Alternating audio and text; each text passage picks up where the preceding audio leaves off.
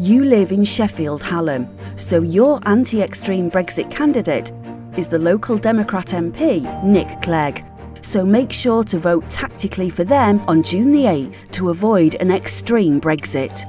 What is tactical voting? The idea is simple. Instead of voting for your usual party, vote for the local candidate with the best chance of winning who is willing to fight an extreme Brexit. For instance, the extreme Brexiter MP James Davies has a majority of just 237 votes in the Vale of Clwyd constituency. You probably have more Facebook friends than that.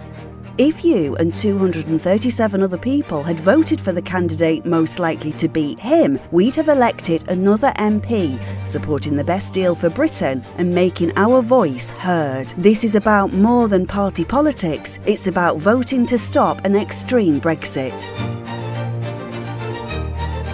Zac Goldsmith lost his majority of 23,000 votes when people voted tactically for a candidate who was against extreme Brexit. If the rest of the country turned out to vote for a strong relationship with the EU, like they did in his constituency, there would be hundreds of MPs in Parliament fighting for what's best for Britain. So don't let anyone tell you your vote won't count.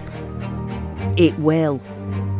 We want the best deal possible from Europe and a positive, inclusive future for Britain. For that, we need independent minded MPs. So you need to do two things. Firstly, sign up at bestforbritain.org to find out who your local anti extreme Brexit candidate is.